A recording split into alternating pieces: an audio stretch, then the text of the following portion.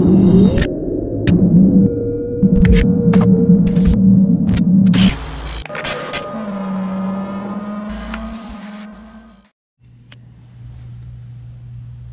up, everybody? James here, and welcome back to another episode of Good Dude TV.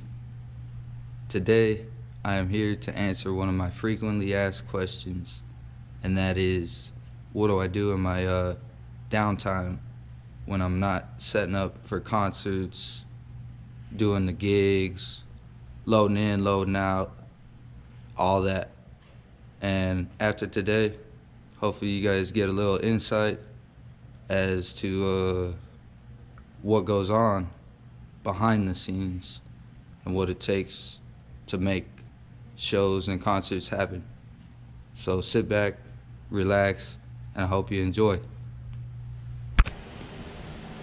All right. So we just got done doing our New Year's Eve extravaganza, I'd like to call it. Um, all the gear got returned back to the warehouse and I'm gonna give you a little preview of what it looks like. Uh, stuff comes back out of cases, not in the right spot, and uh, this is where we take the time to make it right. So on the next gig, it's right where we need it, and we know where it's at, and we're not searching for it. Here's a little look at the warehouse.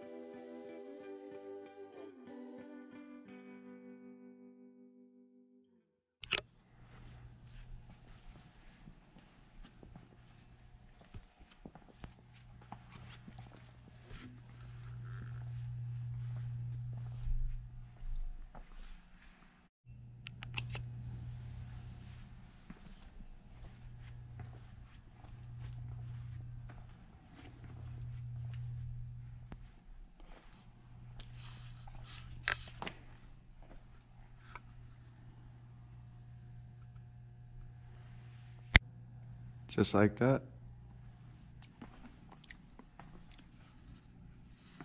All the cables are back in. We're all back accounted for and ready for the next gig.